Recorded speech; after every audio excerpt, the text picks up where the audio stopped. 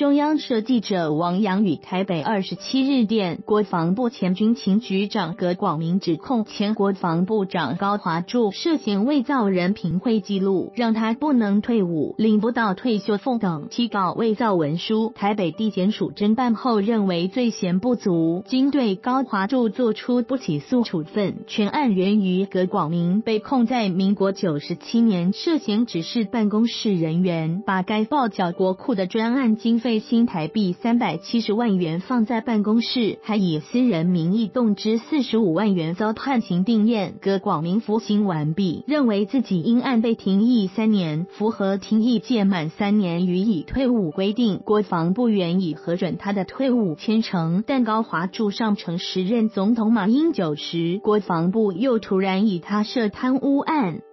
建议暂缓同意退伍，使他无法领取每月约十一。